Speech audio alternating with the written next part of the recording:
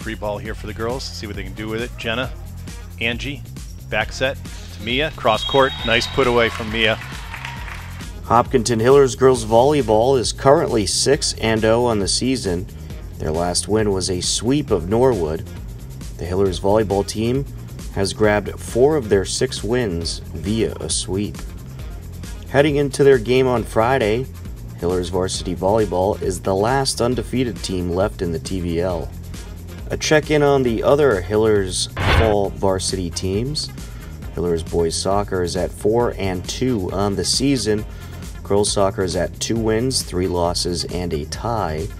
Hillers football is 2 and 1 after a nice 28 6 road win this past Saturday in Norwood.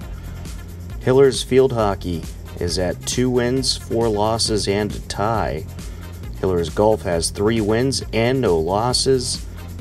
Hillers boys and girls cross country both stand at 2 wins and no losses.